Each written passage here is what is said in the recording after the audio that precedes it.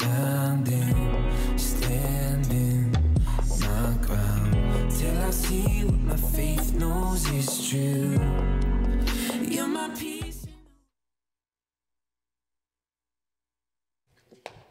Well, greetings, Westlife. Uh, it's been a great uh, equip time so far. Um, I'm, I'm, and I get to uh, dive now into uh, a little bit more of a deeper, like how conversation of like community and particularly civility and relationships in a time where we're so divided as society. So, uh, so great to have you join us. I'm here uh, with my good friend, Dr. Kevin Glenn. Kevin and I, we've got a lot of common. many of you don't know. We're maybe Kevin doesn't even know this. We're both drummers. We're both semioticians, uh, which means we both did our doctorate together. We that's how we know each other. We went to school together. Uh, but you know, Kevin uh, is in the states, so he is uh, South Side. So I was explaining to him in the break what ketchup chips were because he had no idea. He thought like it was like you know fries and ketchup. Uh, so I did you know we like a little bit of a cultural explanation. But Kevin is joining us from Jackson, Tennessee, where he serves at his church as, uh, as lead pastor. And Kevin is the author of this great book. Uh, pastor Ryan referred to it either. It's called Hand Over Fist. You can purchase it on Amazon. You can get it on Indigo, which is a Canadian uh, retailer, or you can get, we have a couple copies here at church. There'll be one even in the library, all on this topic that we're going to dive into today. So, uh, welcome, Kevin. It's great to have you join us. Uh, why don't you uh, say hi? Maybe give Thank us you. maybe a little bit of comments. Maybe explain to us, as you were saying earlier, how you could be all about civility and love kickboxing and be a kickboxer. I know, right? oh well, hello, uh, Westlife. Thank you so much for uh, letting me come and, and hang out with you today. It's uh, it is it is a, a gray, rainy, dreary day here in Jackson, Tennessee. So uh, I don't know what it's like up there, but yeah, it's just so wet here right now. So it's nice to be inside, dry, talking to you, Bryce, and talking to everybody. Um, yeah, I'm, I'm a bit of a walking contradiction, and that's just one of them. That you know, I wrote a book on civility, and I love kickboxing, but it, it's it's for the fitness aspect. I, Sure. I, you know, really, Sure. it, it- you know, it's like Jedi. Jedi use only use their skills for for uh, for self defense. Yeah. That's what it is. So yeah, it's all that. Very, very good. That's awesome. Uh, so good. Well, Kevin, let's let's jump into this. So you wrote this book called Hand Over Fist. Uh, what what led you to write it, and uh, you know why is this such a passion for you of of Christ centered civility? Yeah, well, a lot of it is because I, I grew up in the church uh, in he, here in the United States, and just became very much aware as I was. Uh, uh, as uh, I, I was in churches as a, as a youth and family minister, and then later on as a lead pastor. And it seemed like issue after issue, whether it was preaching styles and debates over preaching styles, debates over theology, Calvinism, Arminianism, and all of that, uh, the worship wars uh, should music be traditional? uh, contemporary, modern, whatever. And and I noticed both growing up and then um, when I was on church staff that uh, within the body of Christ, Yeah. we didn't really seem to be handling those conflicts very well. Um, I, I would be in in church business meetings where hymnals would fly Oh, wow. uh, over over things like that, and and I just thought, now, now, Like now physically minute. fly? physically fly, yeah, you know. Wow. it's full. Um, you know, that's that's where the kickboxing would come in handy. Yeah, yeah, yeah. So you know, had to had to knock those things out of the That's way. awesome. Fortunately, they, they were never throwing them at me, but it's just something that I Yeah. that I saw, and I think some of it uh, uh, as, as a kid just. I knew something wasn't right, but I really didn't have much of a context for it. And then as I as I got older, uh, I did my undergraduate work in psychology and counseling, and then all of that. So in, in a nutshell, as I watched uh, conflict within the church uh, mirror conflict outside of the church. Basically, my my brothers and sisters in Christ were f- basically fighting according to the same ugly rules hmm. as the world outside. And so I became extremely concerned about the internal unity of the body of Christ and the external witness that that our So that good. that you know that we weren't doing a good job and that was splitting us up in the church weakening um, our internal strength Yeah. and uh, doing great damage to our external witness as you know we're supposed to be in the world and not of it and Sure. yet very little if any difference between the way that christians would resolve their conflicts with one another uh, and very little difference between that and anything that you would see um, any other person in a relationship doing there was just no difference this kind Yeah. of came to a head for me during the 2012 presidential election in the Sure. united states Sure. and and so that uh, was the really was the the the the the, the force that said okay i gotta i gotta write about this i gotta Yeah. put something out um, uh, so that we can i can do more than just say hey i don't like that what's going to be my contribution to Yeah. try to provide some ways to hopefully overcome this Yeah, it's so good. It's so it's so fascinating, right? Where Jesus said you're supposed to know, like everyone's supposed to know we're His disciples by our love, and yet Yeah. you there would be real, like unfortunately, largely if you look at the the large, the kind of a larger uh, C church, particularly, there really isn't a whole lot of difference in how we uh, deal with each other. You go to any denominational meeting, large, small denominations. There's eh, like fight and anger. It's it's there's hymnals like you say flying across the rooms, if not like doctrinal statements, etc. It's it's Right. it's one of those things that like there's there's got to be a better way. So that's why I love your book. In fact, I love the image of your book, the idea of Yeah. hand over fist. Like where did that come from, Kevin? Well, and and yeah, I, I grew up um, I, I grew up hearing the term hand over Yeah. fist because people would say, "Oh, they're making money hand over fist." Well, I, like, okay, this isn't a book about making money. Uh, so, but what is it? And really, it came to me when I was reading uh, some work by Bob Goff, um, who's you know kind of a famous writer, author, uh, and everything. And You just became Pastor Quinn's best friend. Just a heads up. Okay. Pastor, Hey, that's- Pastor Quinn loves Bob Goff.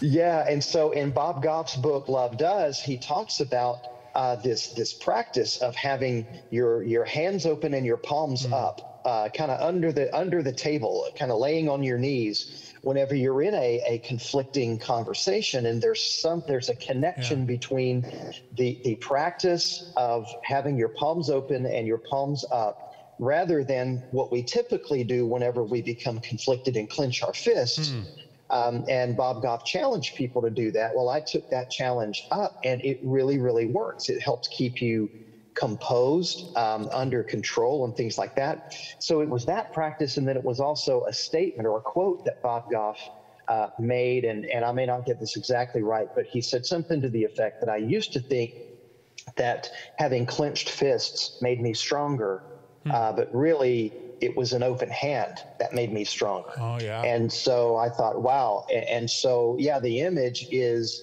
when when when this tends to be the posture of of everybody, uh, and even the the posture that is most valued, um, a posture of an open hand. Uh, i- i- inviting, somewhat vulnerable. It's reaching across, reaching toward, taking a step toward.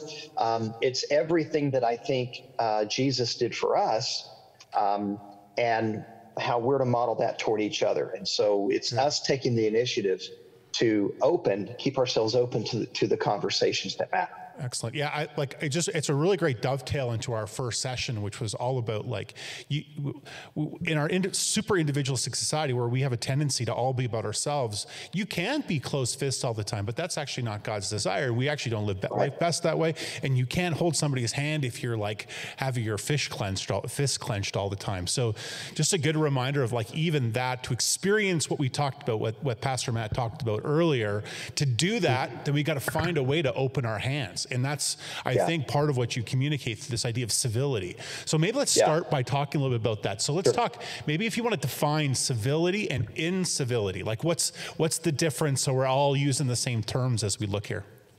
Right, and it's interesting because in, in in the book I spend a lot of time defining civility by talking about what civility isn't. Yes. And uh, you know, I'm working on I'm working on a revised and updated edition, and I want to spend a little more time defining what it is. Um, but for for our purposes here, civility really is uh, a, a set of values, a set of practices, a mindset, an attitude, and an intentional commitment on on my part that when I'm in interaction with another person, uh, I am I am going to see them, and I'm going to let them know that they're being seen, uh, not from a place of superiority, but you know I see you, Yeah. I hear you, uh, it's it's basically civility is really the the the art and practice of of valuing that other person and treating them with the dignity that is theirs by being a fellow image bearer of God. Hmm. And and because even if I vehemently disagree with them and sure. find their ideas to be detestable and abhorrent, um, there's a person there and I want to interact with the person and work through and allow, allow the dignity of the person and their value in being heard and in being seen to inform how we navigate the issues and how I, I listen to them and hear them uh, so that I can uh, best understand where they're coming from mm. and really how they got there. That's part of it is, is civility is part of it is being interested in the journey of how did they get to yeah. where they are today? How did they arrive there? And so civility is kind of this this conglomeration of attitudes and practices that keep us engaged, keep us seeing, keep us hearing, keep us listening, and keep us curious, all yeah. uh, informed by the dignity uh, of that other person.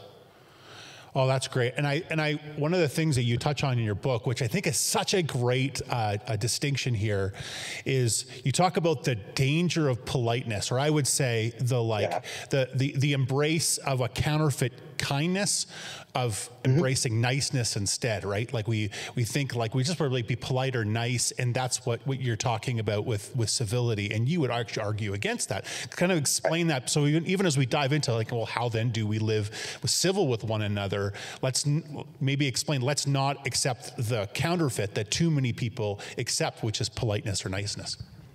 Right. Politeness or niceness, and they do. They sound good at the beginning. Um, I grew up in the deep South. Uh, I still live in the deep South here in Jackson, Tennessee.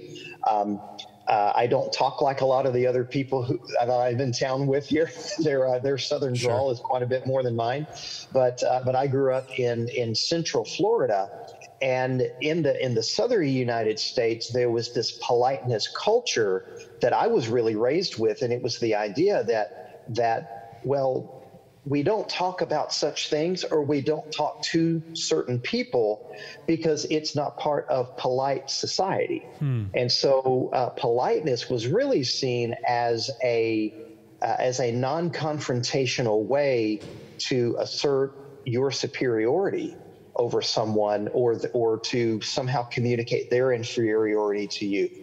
And politeness and niceness at their essence are not they're not honest. It's it's dishonest. And so really civility is not being nice. Now incivility is being mean and sure. being ugly and being hateful but being civil does not take away the reality of being firm hmm.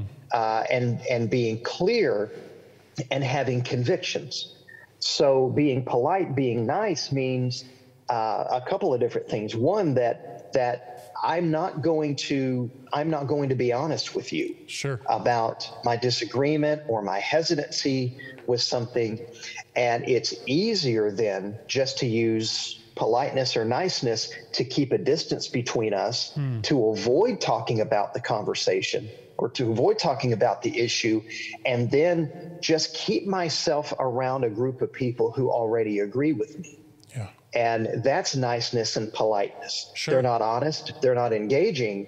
And another facet of that is what um, uh, kind of opponents of civility would call being tone police. Okay. And it's saying, well, it's a, there's a firm tone, and, and so you're not being civil so we're not going to continue the conversation and it's it's policing people's tone and it, it becomes kind of a form of cancel culture and censorship. Sure. Uh, we'll, we'll, we're just not going to let you talk. Hmm. Uh, we're just not going to let. But I think the the the robust part of civility is that if you and I are talking, Bryce, or I'm talking with someone, and our ideas are at odds with one another, there's conflict. Um, what am I doing whenever I take the time and do the work of really listening to you, really trying to get at mm. what what is the source of this conflict, um, and and taking the time to explain and formulate why we're not on the same page, Yeah. why I don't agree with that. When I do those things, I'm honoring you. Sure. Um, I'm, I'm, I'm saying you matter and this idea matters enough that I'm going to hang in here and rather than take the easy way out and just vilify you, dehumanize you, label you, call you a name, say, well, you're part of that other party over there, or do something to, to, to distance and to uh, stop the conversation or just say, oh, you know, I just want to be nice and, and, and avoid the whole thing. All of those are forms of, of um, uh, ways that we really kind of kind of devalue one another and de- and dishonor one another. Sure. So niceness, polite, politeness does that, um, and and their more sinister cousins, uh, canceling and censor- censorship do that. Well, one of the things, like this is part of the cultural dynamic, right? You talk about like a politeness that's south of the border. As Canadians, we're known to be polite. I remember when Yes. we were hanging out together, and you guys all made fun of me because I kept apologizing all the time as a Canadian. With all my American friends, they're like, "Stop apologizing," and I'm like, "I'm sorry." So you're doing it again. And as Canadians, uh, this actually can be a bit of our challenge. is Sometimes we're so polite that actually we we embrace a counterfeit civility and assume we're actually expressing community or relationship or unity when actually it's it's not that at all. We've just accepted a niceness, and uh, instead of where like kindness and, and true community and being honest with one another is actually what Christ calls us to. That's a Christ-centered civility. So this is this is great. So as we think about this, then as we kind of walk through, well, what does that look like? How do then I, uh, how do we uh, kind of embrace this this vision then of true community and and and Christ-centered civility with each other? Um, how do we do that? Like, what are some tips? Uh, I think in Yeah. your book you use an acronym of civil. There's different things that you've you've addressed. Like like walk us through like the how we do civil with one another. Yeah. I think one of the most important uh, attitudes that we can take on and postures that we can take is one that um, uh, I, I, I didn't come up with this. Richard Mouw, the former president of Fuller Theological Seminary, came up with this uh, idea called cognitive modesty. And cognitive modesty means that I I enter disagreements or I enter um, conversations where I don't understand the perspective of another person, or even if I do know that I disagree, but I enter that from a place of being a student, not being an expert, uh, not being there to prove anyone right, but with the idea that I'm here to understand. I'm here to try my best to understand where where they're coming from, how they got there, and cognitive modesty simply means that I'm coming in saying, okay, based on what I understand and what I think I know at this point, here's what I think I hear you saying. And being open to being corrected that no, that's of, that, you know what, maybe I don't understand or I didn't have their ideas right. Um, but taking that time uh, and, and kind of putting myself in the posture of help me understand. I'm asking them to help me understand. How did we get here? If it's a relational conflict, um, what is it that, what's my contribution here? What's my contribution to this? So it's it's maintaining uh, a, a posture of curiosity. Good. Um, uh, curiosity is huge. You know, okay, so so again, and my favorite question is, help me understand. Really, help me understand this. How did h- uh, with this idea that you've arrived at? How did you get from from from there to here? And being willing to to to walk through that. So it's that cognitive modesty. It's maintaining that curiosity. It's um, refusing to vilify the other person, refusing to do that. Um, there's uh, there, there's a young lady, and I, I don't have her name in front of me now, but she wrote a book um, after mine came out uh, called Mere Civility, and she actually has a TED talk where she talks about uh, some of this. But but she said civility is necessary, especially for those conversations with people that we might have the most trouble respecting. Uh, and it, it gives us a mechanism to to say I am not going to shut this conversation down by making a villain out of you. Yeah. I I'm, I may find the ideas absolutely ridiculous. Yeah. But I need this curiosity and I need this uh, posture and process of listening and hearing and seeing and understanding, so that uh, so that there is an opportunity for us to continue in some kind of relationship moving forward uh, for this conversation to continue.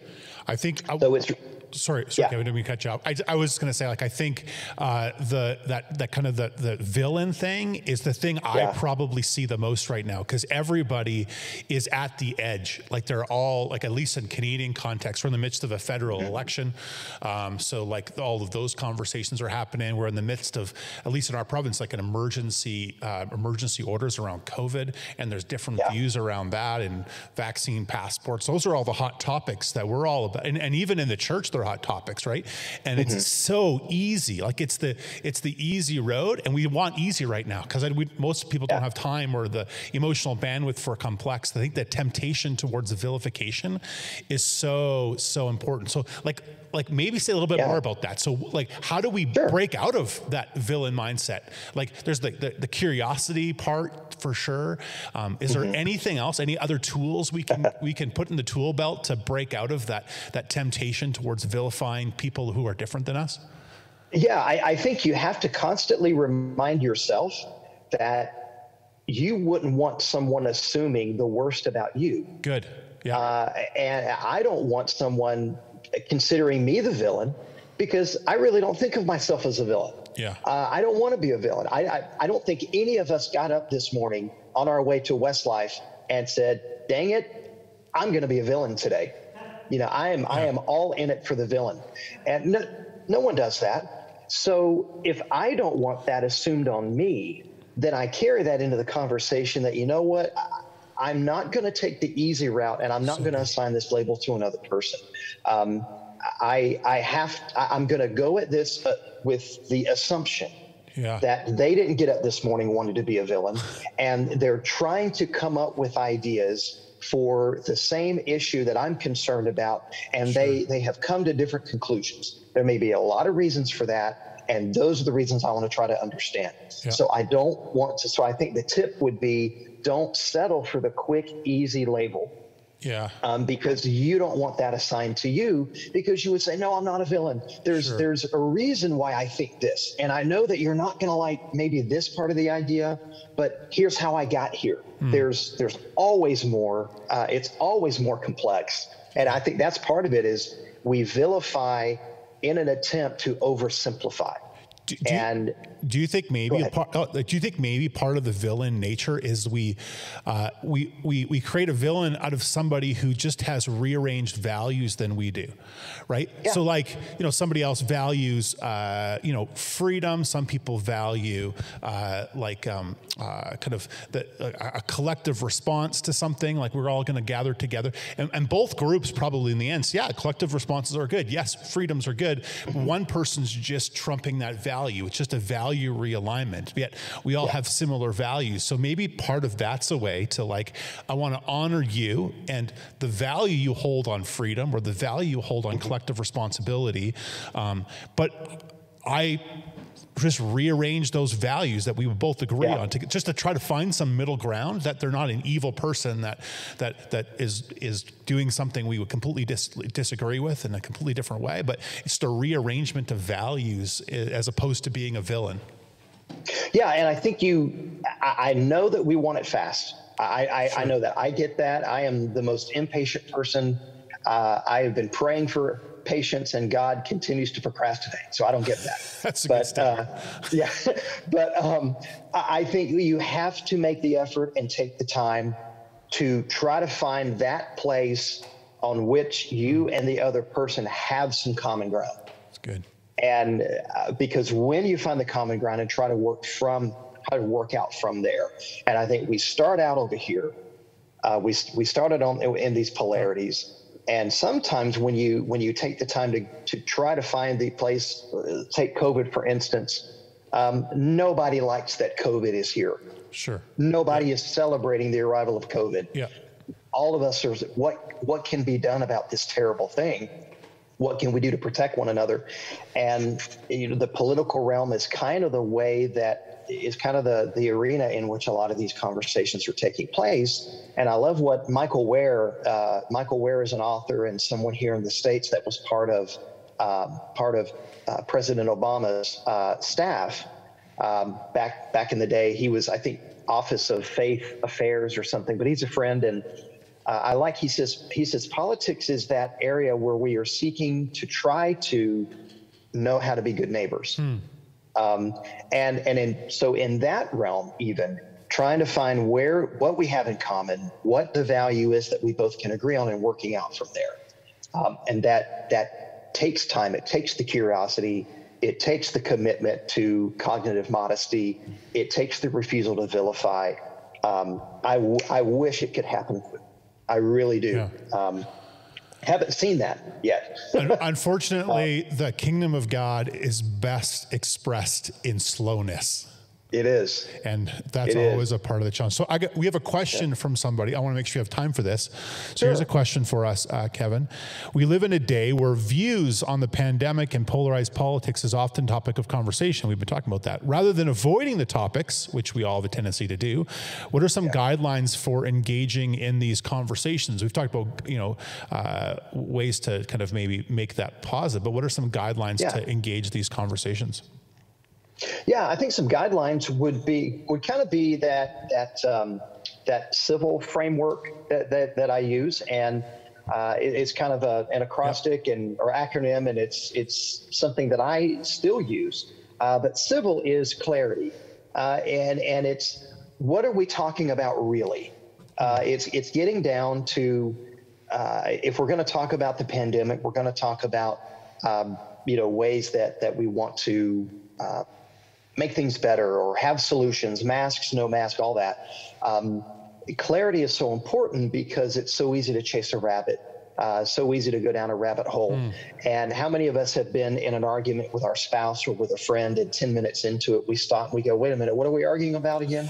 You know, uh, you know, uh, and so clarity Facts. is just, yeah, clarity is just determining, okay, so what, what are we really going to talk about here? Very what, uh, what, what is the topic? Um, intent is what is our goal?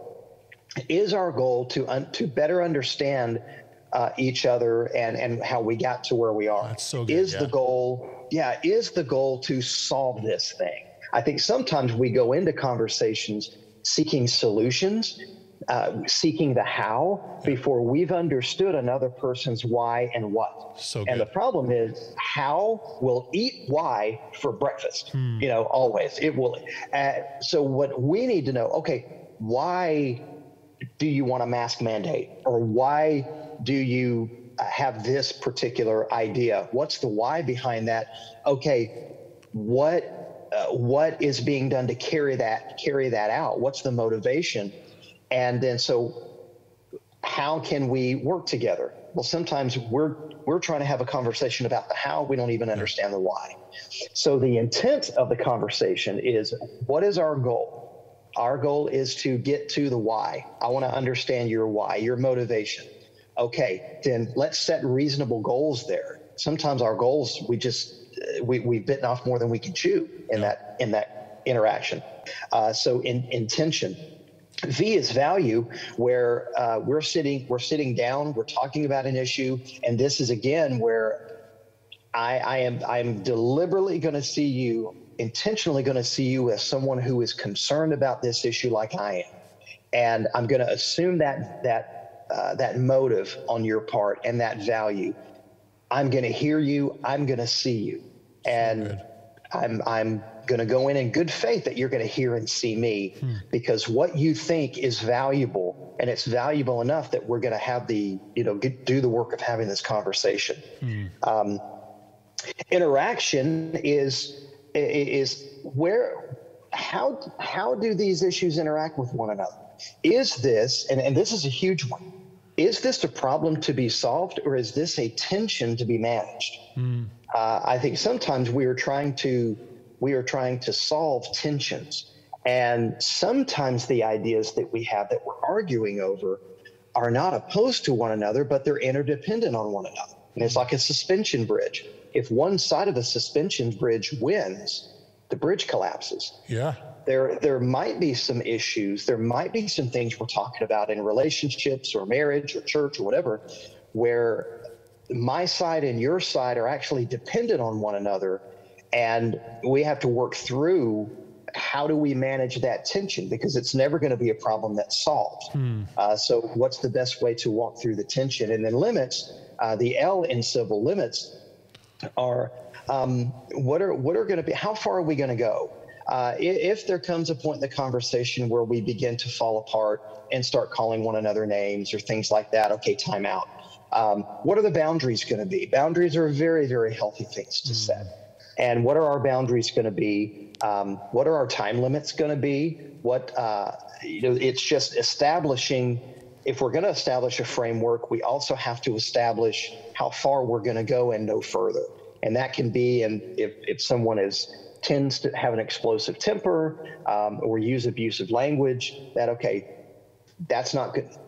We're not going to tolerate that. Or we have 15 minutes to discuss this. Let's set a goal for what we can really hope to accomplish in 15 hmm. minutes. And so a lot of it is having that plan, beginning with the end in mind, as uh, Stephen Covey used to say. And I think to, to the extent now, it's crazy at first, it's hard to do at first. But what I've learned over the years is this starts to become an uh, this starts to become a skill set that you find yourself plugging in automatically when you go into different sorts of, of uh, conversations and it, it, it becomes more natural. But it's a skill set that you learn and plug in um, as you go. So I hope that helps. Well, that, that this is excellent, Kevin. I think this maybe help some people, uh, myself included, have a much better holiday with their families. Uh, like, this is super practical for us to think about how actually do we coexist with people who are radically different than us. So, uh, Westlife, uh, I'd encourage you to grow, uh, go grab uh, Kevin's book, uh, Hand Over Fist. It's filled with practical stuff. All the stuff we've been talking about is, is spoken more detail here. Again, it's in the Ridge Cafe. You can get it on all the online platforms. Um, Kevin, so great to have you join us at our Equip Weekend. This is so so good to give us some things to grab a hold of as we try to embrace and express Christ-centered, robust civility, and not send, uh, not like uh, settle for a counterfeit version of it in our Canadian politeness and niceness. When God calls us to something much more beautiful and much more robust. So, Westlife, I'd encourage you to join us tomorrow for our Sunday service as we look uh, in a deeper way at what does it look like for us to embrace this in a practical way as a church? How do we come alongside and restore relationships? And we're going to actually come to the communion table together. So I'd encourage you to prepare your hearts as we come, as diverse as we are as a church, to the most beautiful, miraculous thing that we do together, which is to remember the death, the resurrection of Jesus that actually brings us close together as one another and allows us in a Christ centered way to be civil with one another and to be in community with us, in, with each other in the diversity that we have. So join us tomorrow at 9 and 11 o'clock in person and online. So great to have you join us at our Equip weekend. And again, thanks, uh, Dr. Glenn, for joining with us. And uh, look forward to uh, all that God will teach us and challenge us as we put this into practice. God bless you, Westlife. We'll see you soon. Thank you.